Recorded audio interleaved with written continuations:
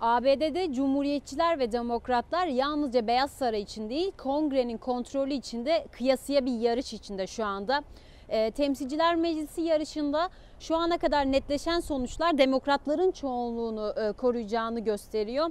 E, diğer bir yandan Senato tarafındansa çoğunluğun kimin sağlayacağına dair yarış Georgia'da düğümlenmiş durumda. E, Mevcut sonuçlara baktığımızda ise demokratların 46, cumhuriyetçilerin ise 48 sandalye sayısına ulaşacağı görünüyor. Ee, Senatoda yasama faaliyetlerinde demokratlarla hareket eden iki de bağımsız üye bulunuyor.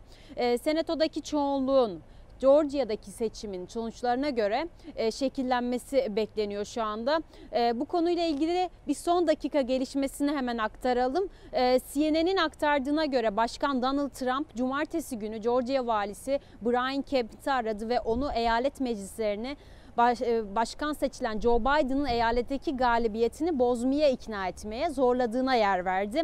Bir kaynağa göre Trump Kemp'ten e, özel bir oturum açmasını ve eyalet meclislerini kendisini destekleyecek kendi seçmenlerini seçmeye ikna etmesini istediği söyleniyor. Kaynak Kemp'in bu yetkiye sahip olmadığını ve talebi reddettiğini de yer verdi.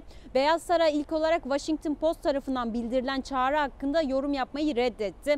E, Trump'ın 2020 seçimlerinin sonuçlarına müdahale etmek için en son girişimi olan Kemp'e yaptığı bu çağrı Trump'ın Cumhuriyetçi Senatör David Perdue ve e, Kelly Loeffler'ı e, Ocak ayındaki Senato'da ikinci tur seçimleri öncesinde desteklemek için eyalette yaptığı ziyaretten saatler önce geldi bu e, haber.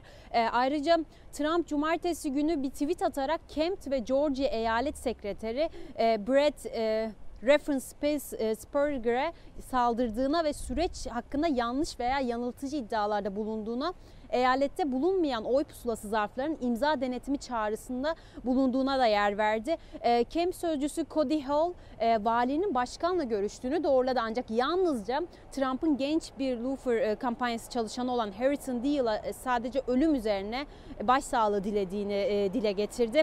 Amerika'da seçimler tamamıyla sonuçlanmayana kadar sular gerçekten durulmayacak gibi duruyor. Özlem Şen Yaşar, Real TV Washington.